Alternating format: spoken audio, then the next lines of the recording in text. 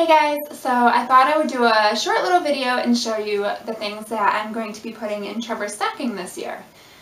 Um, so first I will show you what his actual stocking looks like. It's just um, the Mickey Mouse. It says ho ho ho on it. So that's his stocking. We got him a new, new one this year. um, so the next thing is we got um, a little ball and I think it, oh yeah, it lights up. So that'll be fun for him. Not sure if the other end lights up or not, but so a little light up ball. Um, he's in need of some socks, so we got him just a pack of white socks. um, and this little wooden um, school bus toy. I was gonna, I was thinking about getting him like these little matchbox box car things, but um, because he loves it when the daycare kids bring their cars and he's always playing with them, so I was gonna get him some of his own, but um, I know they're not supposed to have them till they're three because they can bite the wheels off and they choke on them.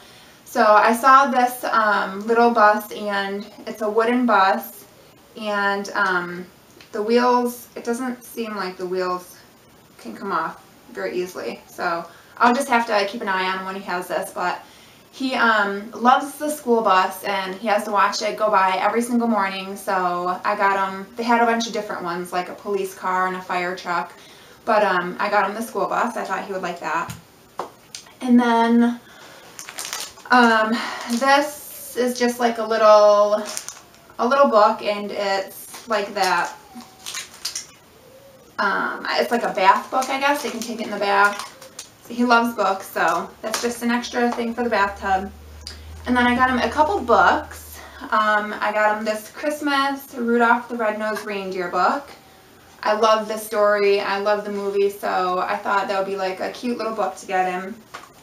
And then I got him another book that is called My First Everyday Prayers. And it just has a different prayer on each page and I thought that was a cute thing to get him. And, um, okay, so one of the gifts that he is getting for Christmas is a little potty seat.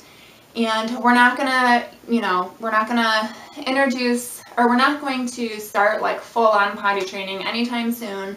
But I thought it would be fun just to kind of introduce it to him soon, um, probably in the next couple of months so we got him a potty seat. And then I got him a pack of these training pants. Um, and these are a size 2T. It starts at 28 pounds. So these probably won't fit him for a while, but at least he'll have them for when he really starts potty training.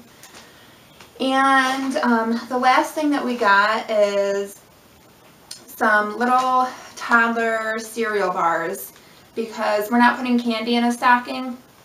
um, I, I'm not against candy whatsoever, don't get me wrong, but um, he'll only be like about 14 months at Christmas time, so we're not going to put candy in a stocking this year. So instead, we just thought we'd give him some of these little um, cereal bars, and I think he's had these before, so um, it'd be like a cool thing for him to try.